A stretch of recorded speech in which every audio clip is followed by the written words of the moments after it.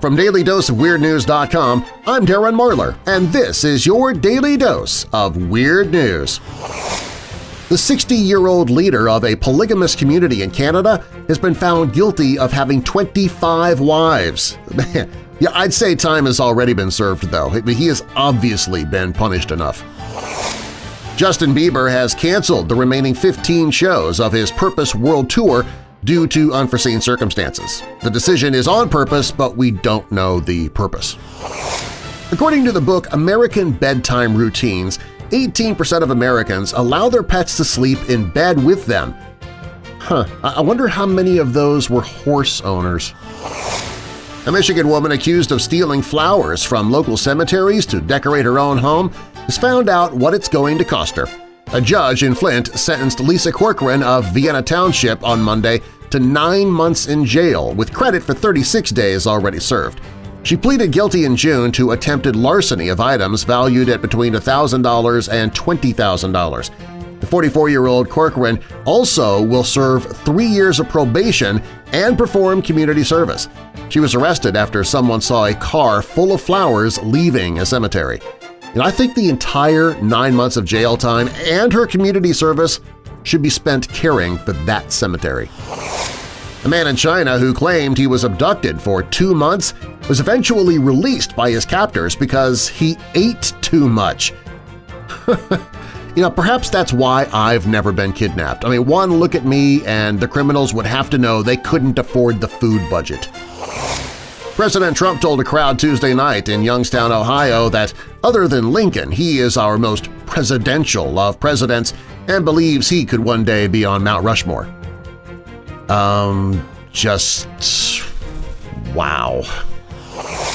According to a survey, the five U.S. states with the fittest residents are Oregon, New Mexico, Wyoming, Vermont, and Connecticut.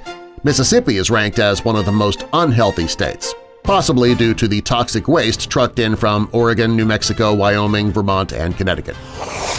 We can all get stressed and even freak out a little bit from time to time, but the last person you want to find out is having a full-blown nervous breakdown is your pilot.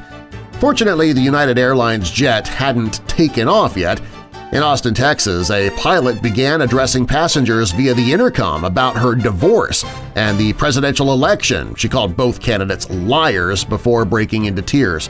The plane was still parked on the runway as she spoke, and about half the passengers got up and left. In a since-deleted video posted by a passenger, the pilot can be heard saying, "'Don't worry, I'm going to let my co-pilot fly.' Yeah, although, after this mental breakdown, I would be wondering if her co-pilot was just a figment of her imagination. Microsoft says that MS Paint will live on and that Sunday's announcement was all a big misunderstanding.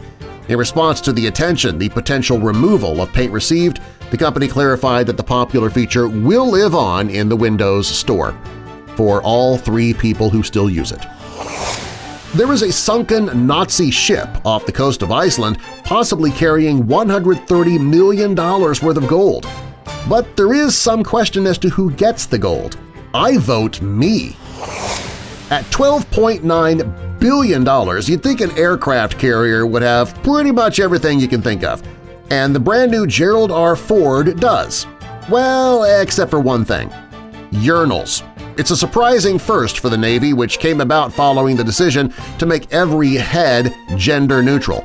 That will reportedly make it easier for the Navy to pivot and change the corresponding berthing area to housing female sailors versus male and vice versa as the makeup of deployments change. And those are the pros. Now the cons, according to design experts, are that toilets eat up more space than urinals and are much less sanitary. As one such expert explains, men are more likely to miss their mark in a toilet. Nevertheless, President Trump commissioned the warship on Saturday in Norfolk, Virginia. Don't look for this baby on the high seas anytime soon, though. A battery of at-sea tests and workups are required first, which could take up to four years to complete.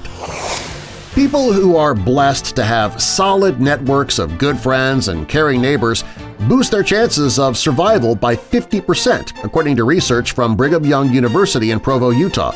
The team analyzed nearly 150 international studies with 300,000 people from four continents that examined the association between survival odds and social networks. people who had the strongest social networks were nearly twice as likely to be alive at any given age than those who were lonely. And the opposite is also true. Having just a few friends is as damaging to survival as smoking 15 cigarettes a day or being an alcoholic. Heck, I've got over 3,000 friends on Facebook, so I'm like immortal, right?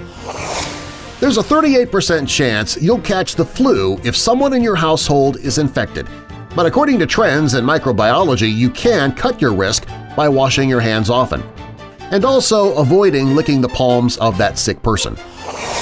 A Florida family was jolted awake one recent morning, startled to find that 15 pounds of frozen meat had crashed onto their roof. Travis Adair says it was like thunder and it awakened me out of a sleep. When family members went outside to investigate, they found two packages of frozen Italian pork sausage in their yard and three more on the roof. Adair adds that the meat sacks must have fallen from above, since they were too heavy to have been thrown onto the roof from the ground. His wife, Jenny, speculated the meat fell from a plane and may have related to a drug deal. Yes, because underground black market drug transactions are also done using stuff you can get from any grocery store deli counter. The San Francisco Bay Area McDonald's is testing out crab sandwiches. It gets really soggy, though, when you dip it into the melted butter. While going through his storage, Alice Cooper discovered some art that could be worth millions. You know, it's nice to know that an aging rock star put something away for his future, even if he forgot he put it away. Ex-White House spokesman Sean Spicer needed a mini-fridge when he started with the Trump administration, so he allegedly took one from an office of junior staffers. The Wall Street Journal reports that about a month into his short run on the national stage, Spicer lacked a fridge to keep his lunch and beverages chilled, so he sent one of his aides to the office in a building near the White House. The young staffers told the Spicer aide that they would not give up their mini-fridge, so Spicer waited until they left, sneaked into their office, and carried the fridge up the White House driveway around 8 p.m. one night. Wow!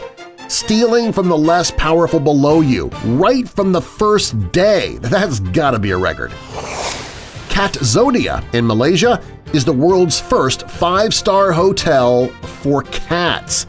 The hotel swimming pool is almost never crowded. The 2018 Ford Mustang GT will be the fastest ever 0 to 60 miles per hour, although Ford is not saying precisely how fast, thanks to a new 10-speed automatic transmission, electronic drag mode, and upgraded 5.0-liter V8 engine. Exactly what you need for that stop-and-go rush hour traffic.